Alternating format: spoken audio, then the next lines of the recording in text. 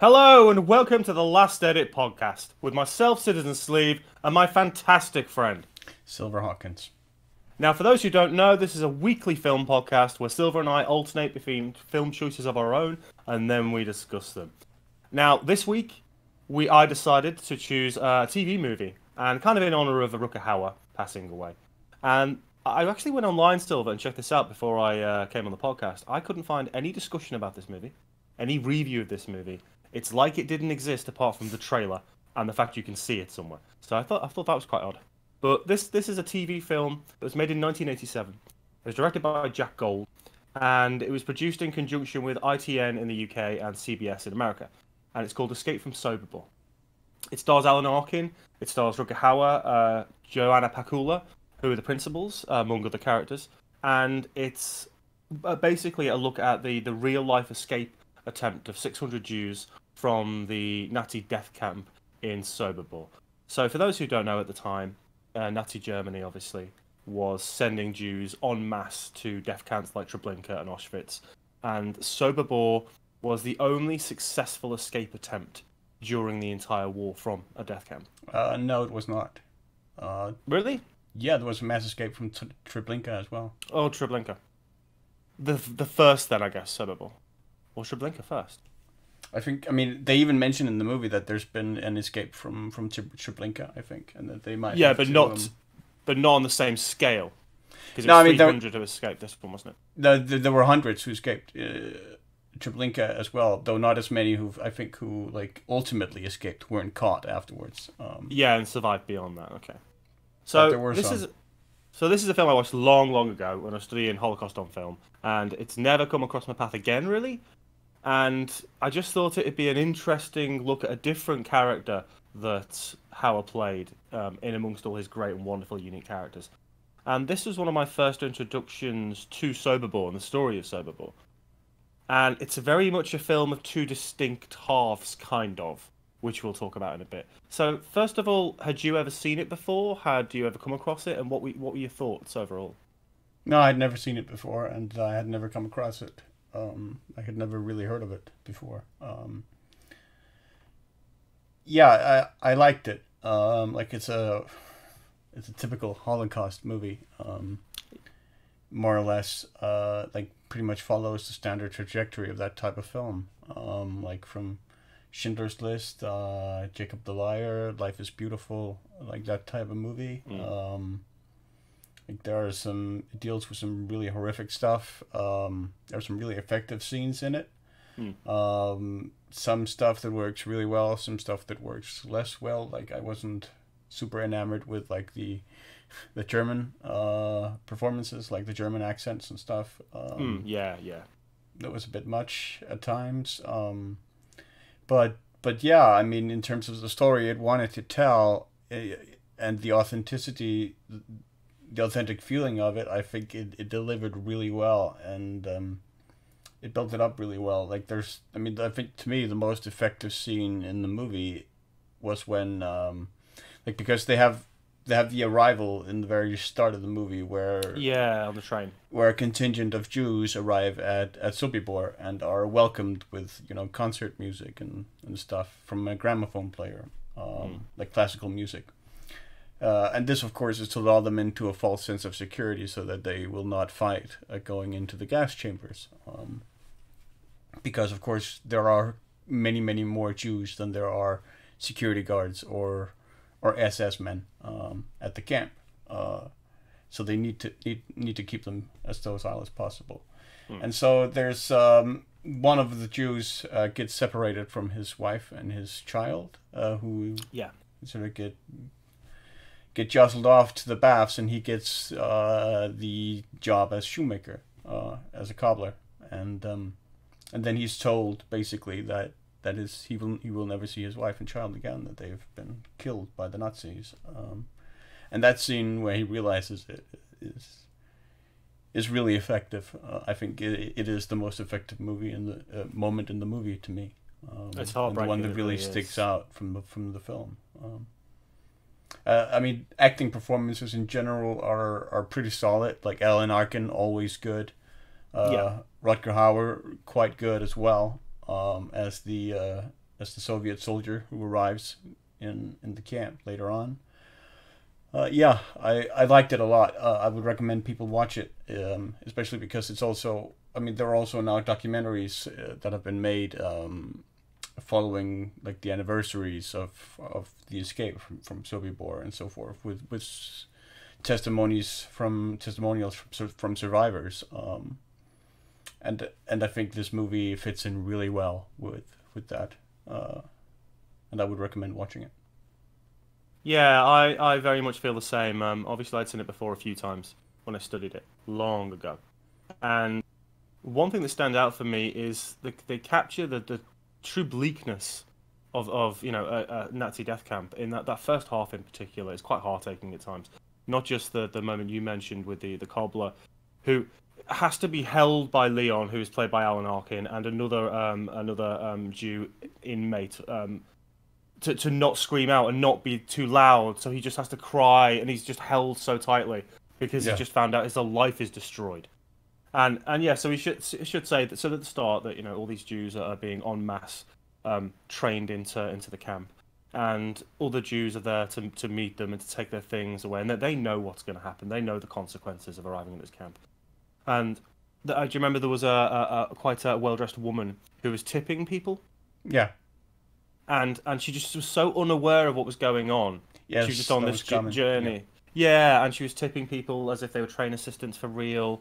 Just so completely. Um, I just didn't see the situation that was going on ahead of her at, at all. Had no conception of what was happening.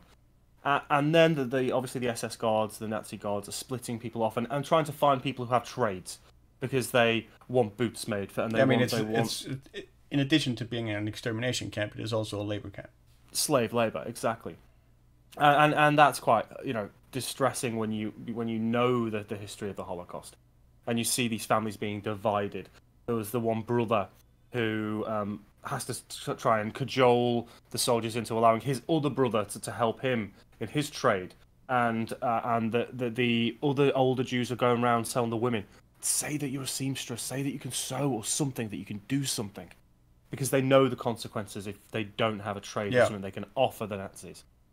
One thing I find really really interesting is the way that the the smoke plume from the you know from the death chambers from the shower is constantly in the background of a lot of shots. This ominous thing that overshadows the whole camp, overshadows yeah, the, the Jews furnace. that are there from the furnace, and it everyone who arrives new sees this thing and becomes aware of it, and, and it takes us a little while to get there because the characters all kind of bed in, are placed in the positions that they they should want to be placed in by the Nazis, whether it's a seamstress or I think um, Luca ends up being taken away from that and looking after the livestock of the chickens and stuff. And the, one boy, I think a Nazi officer wants uh, some boots made, or the end of a hilt of a sword made, or, or changed, or something in, in you know respect to his um, his own house coat of arms or something fancy. And a boy is sent to get something and comes across the furnace and just sees this queue, this mass queue of naked Jews trembling, and no one is coming out the other side. And yeah. you know, it, it, they already know, but to see it physically in front of them, the impact is immediate, and, and that was one of my most impactful moments of the of the entire film, along with the cobbler's loss of his wife or, the learning of the knowledge of the loss of his wife and child. I thought that was really quite intense. And there are some moments like that throughout the film. I agree with you. I don't think the German officers are portrayed wonderfully well. The accents aren't great. Um, some of the some of the puppets are okay.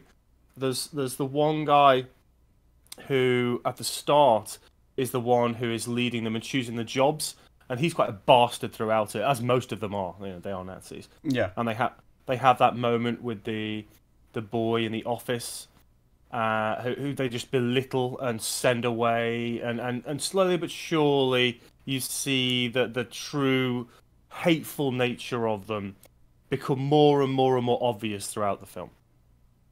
It's a film that changes quite drastically, though, from the initial half, which is really all about the arrivals it kind of, and it kind of shifts between being like a, a, traditional Holocaust movie early on, and then it sort of shifts to the Great Escape. Exactly. Yeah. Um, exactly right. Is those are the sort of tonal shifts in in the film. Well, we yeah we start seeing like there's been planned escapes before. There's those two people who try two Jews who tried to cut the wire, and Yeah, right at the start of the movie. about the start, and they do not get very far. Obviously, there's landmines outside. There's guards who are posted on towers to snipe and or, um, um, to shoot down automatic weapons at them, and it, it's then you start a little bit further in. Alan Arkin is that oh, it's almost the the, the head or the, or the most respected of, of of the Jews in in the community, and he's the one who's trying to formulate this plan to escape to get out, and bring in other people in who he knows can help like the cobbler, like other people have arrived and their dis- different skill sets. And they have an idea, they have various plans, but it's not really until Rutger Hauer's character, um, shows up, um, Soviet, as you said, Jew, that the plan really kicks into gear and starts being taken seriously and comes to fruition. And yeah, it is a bit like The Great Escape. You know, there's different characters who are doing different things and bringing things, and they're trying to find guns and they're trying to arrange where the guards will be so they can isolate them and take the most important ones down. Yeah, And the pace quickens up then, and it does become very much an escape movie. And it moves quite a nice pace as well. But again, all the build up and, and his semi love affair with Luca, which isn't really because he has a wife, as he, he says in that scene, but she still kisses him, and there's that there's these tender moments between them. But he wants to be go, go back to his family. He still be- believes they're alive, which is highly unlikely. And I don't. yeah, but he still has. I mean, it's evident he has feelings for her. All the Oh, same. absolutely, absolutely, and also the the cobbler who, of course, is told that his wife and child are dead, makes a friend in another female Jew who becomes um, a bit of a soulmate in there. They don't fall in love or anything, but they're very very close. Um, because she's the one of the ones who consoles him, I think, when he first learns of his, his wife's death. And yeah, it's And there's It's- the the young, like the older of the brothers who um who starts uh, an affair or or romance or whatever with with an older woman in the camp. Um, Yeah, yeah. Oh, that dance. They have this dance, don't they, where they're forced to dance basically, and he's quite forward with her and says, "You're the one I want," and she's like, "Whoa, whoa, maybe we'll see, we'll see what's happening there." Uh, and it, this, the, uh, I think a film like that needs this. It needs those tender moments, those sparks of light in between the absolute horrifying situation that, that these people find themselves in yeah, just to give it a little bit more gravitas and hope. Even though, quite frankly, during the Holocaust there was very little hope for obvious reasons. But then it builds and builds and builds, and and the pace quickens, and we start getting all these different people interacting. Um, there are people. I'm going to have to check this and make sure I read it correctly. There, ah, here we go. The Oberkapos. So that there are Jews who are selected by the SS to be in between disciplinarians and to discipline the Jews on behalf of the SS, make them work, make them do things that Yeah, the the ones who- wants. like like they did in the ghettos, basically with the Santa Exactly. Sonderkommandos. Yeah, yeah, exactly. And and they they have one particular Oberkapo who's a friend who can help, and they all start working together to, to create this plan to, to escape, and everything falls kind of into place as it should. They start drawing the Nazis in. There's that really tense moment where the, the young boy is going to get the guns from the armory, Yeah, and uh, a delivery van pulls up or a delivery um, truck pulls up and they're unpacking right outside and he doesn't know what to do and he thinks he should have to hide and not. But he manages to steal those guns and take them back to Sasha and he starts semi-arming people and then they go off and they start killing the Nazis bit by bit. There's the guy who, that gets killed in his office. Yeah, and the cobblers um, obviously kill two and um, and slowly but surely the SS numbers start to dwindle but of course they got to get caught at some point. point and when they do all hell breaks loose. It's it's every person for themselves to get out of that place. Yeah, yeah. It's like I say, it's a it's an effective movie. Um, like cinematography as well is really solid. Um, like their editing too. Um, like there weren't any. It wasn't like. It it didn't it it it was on the level where you don't really notice it, which is, uh, I think, testimony to a, a level of craftsmanship. Um, when you don't notice editing and you don't notice, like cinematography, like, hey, that really that didn't really make sense or oh yeah Or, in, in, like, in standard narrative films you should be foregrounding a narrative and then all technical elements should render invisible really Yeah, uh, and and yeah, I mean the movie just it, it goes along fairly briskly. Um, it's really competently made. Yeah, I I enjoyed it. Uh, well, I didn't enjoy it, but I certainly appreciated it. I think the direction reminds me a little bit of a film we've already covered, which is Pentagon Wars. It's more than adequate. It's Yeah. solid, but if, if for a TV movie, it does exactly what it needs to to foreground the important elements of the film. And for this, it's characterizations and the the narrative, obviously, and it does that really, really effectively. Yeah, and I mean, I think it's also important to note that this movie was made in 1987, um, which was a period of time where they didn't have the, the amount of knowledge that we do today. Um, and and that this movie was made sort of for a purpose with that in mind, uh, in terms of informing. Um, Well, yeah, and also it, it must have been a difficult movie to, to get made in many respects because of its initial bleakness and the subject matter. Um, uh, you know, in 1987, in a TV movie, and it's got a pretty good cast. You know, Yeah. it has. Yeah. Alan Arkin, as you said, is is always good, and he's great as Leon in this. He really, really suits that role. Um, I really think Hauer, as you said, it's not the tippy toppiest best ever Hauer, but he's very, very good as Sasha. He's only in it for half the movie, really, but he has a great impact when he comes in. Suddenly, everyone lifts a bit, and it feels a bit more like that escape movie, and it feels a little bit more positive, despite all the horror that's taken place prior and that we're still seeing throughout the camp. But that ending, man, it's absolutely heartbreaking at the same time as being ever so slightly joyous. Uh, uh, you know, they've done everything they can. They've got the weapons. They're starting to kill the SS. They they get through the gates. There are Jews who are scrambling over the wide fences and being injured and trying to crawl under them. The tower yeah, is, some were being trampled. Yeah. some are being trampled and the coats are getting lost and, and the tower with the two Nazi guards is is firing down upon them and wiping out you know rows and rows of them as they run to try and escape. Well, I mean, the, the the, the tower guards weren't Nazis. It should be. They're, they're Ukrainians, like mercenaries. Ukrainians who were working Yeah. for them, yeah. And there's that one Jew, the older um, um, brother again, who is trying to take them down as best as he can on that outer fence. And then when they burst through, and you see people running by, the you know people they, they their loved ones or friends, and having to make a charge for the forest. Ah, it's heartbreaking. Really, Yeah, really is across the minefield and everything. Across the minefield on top of everything else. I mean, talk about the most arduous um, journey you could ever go through to escape somewhere. It's ah, I mean, how so many survived really, given the fact that there wasn't just the towers, there was still SS officers and Nazis shooting through the fences, all kinds of stuff going on the landmines. The fact that 300 pretty much survived that event. Um, some some escaped beyond that, and and, and Well, no, not 300 forces and stuff. survived. Uh, 300 escaped. Uh, Yeah, think- sorry, yeah. I think it was about Yeah. 150 maybe or so who got away. Yeah, there was 600 in total, and 300 actually escaped Sobibor. Yeah.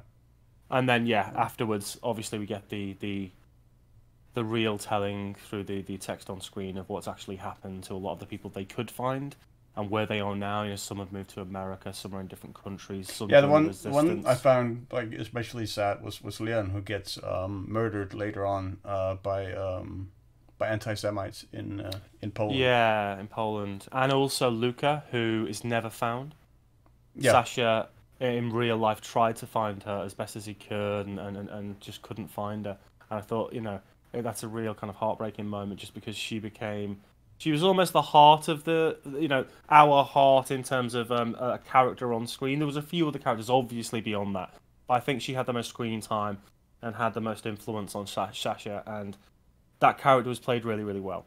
And that, yeah, Yeah. The, the ending was um, difficult. she was certainly a significant gateway for empathy. Yeah, yeah, yeah, and our window to that, as if you really needed that given the situation that you're watching anyway.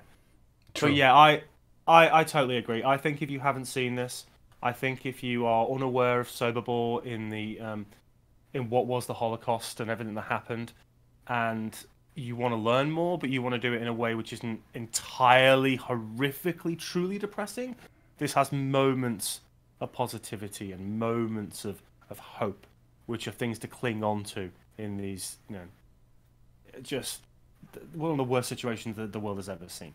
Uh, but it's it's a good film to, to watch. The character performances are really really good. It's well made. It's a, as we said. There's a few moments here and there that aren't that aren't brilliant, and mainly that I think is the German officers. Not the way they're particularly portrayed, but the accents aren't great. Um, We don't see much of them, which you can see why, but it might have been nice to have just a little bit more idea of why they are doing certain specific things within the camp. But overall, I think the film is, is, is really quite well made and, and really worth a watch. Yeah, I agree. Um, definitely recommend it. Uh, look it up. Uh, it may be a bit tricky to get a hold of, um, but I think, I mean, you should be able to find it uh, on the internet, uh, if nothing else. Um, well, uh, as I said, well, I watched it on Prime. I don't know where you watched it, um, but the copy transfer wasn't brilliant. It was really low res. It was um, double image, so you were getting echoes of the initial image. But I got past that, and it, as I said, it's not a film that requires you to have the most wonderful, you know, a resolution or, or anything in the world to, to make sure you understand it and you enjoy it more effectively. True. Okay, I think we've covered Escape from Sobibor. Now, what are we doing next week, Silver? Uh, we are doing what I think is one of the best movies ever made on media, and a movie that is very much of our times, despite the fact that it was made uh, well nearly 40 years ago. Um, it is the last movie Peter Sellers ever starred in. Uh, it was a passion project of his, and it's called Being There. Ah, you suggested this a long. Oh, you've mentioned it to me a long time ago, and I still haven't seen the full thing. I think you've sent me a few different scenes at times, so that'll be interesting to watch. Very, very cool. Okay, this has been the last edit. Now, don't forget that we are not only on YouTube now, we are on Spotify, we are on iTunes, we are on Anchor, we are on every audio thing you can want to possibly listen to us. And by all means, in the YouTube comments, talk to us about Escape from Sobibor. Talk to us about the films that we've talked about in prior podcasts. What kind of stuff do you enjoy? What kind of weird, indie, oddball, unique, not so mainstream stuff would you like us to maybe cover in the future? We might possibly, possibly consider it. We can be kind on occasion. On okay, occasion. so- on occasion. Only on occasion. The best we can do. Right, thank you very, very much for watching. Come back next week for another Last Edit podcast, and we shall see you very soon. Take care.